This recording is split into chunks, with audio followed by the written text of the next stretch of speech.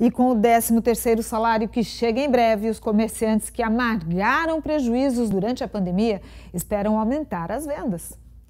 Quem tem carteira assinada tem um mês no calendário aguardado com muita ansiedade. E é no final de novembro que as empresas costumam depositar a primeira parcela do salário extra, o 13º. Em todo o país, o salário extra deve injetar 208 bilhões de reais na economia, segundo a Confederação Nacional do Comércio de Bem, Consumo e Turismo. Mas o valor é 5,4% menor do que do ano passado, por causa do grande número de trabalhadores que perderam o emprego ou que tiveram a redução proporcional e até a carga horária reduzida.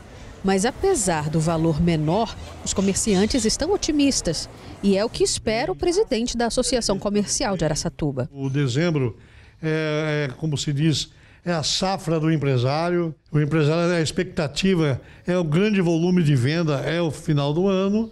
Então, nós estamos, todo, todo comerciante, pequeno, médio, grande, está na grande expectativa de termos um novembro espetacular. A mesma animação, quem também sente é a Kelly.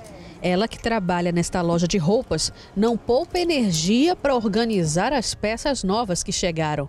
Porque ela está esperando o 13 terceiro em forma de cliente passar pela porta. Todo mundo tem um dinheirinho a mais, né, para poder fazer suas compras ou pagar algumas contas, né? Ela já notou que a procura até melhorou nos últimos dias. Graças a Deus, né, agora deu um bom movimento. O gerente explica que o comportamento das pessoas reflete a ansiedade pelas compras, impulsionado pela motivação em forma de dinheiro. A loja, que fechou por três meses, amargou com demissões e reduções de jornada. Com o 13º a caminho, então, é a motivação que eles precisavam. A expectativa é agora no novembro, é, não temos expectativa para já contratação, mas o dezembro é 90% de chance da gente já ter que fazer novas contratações.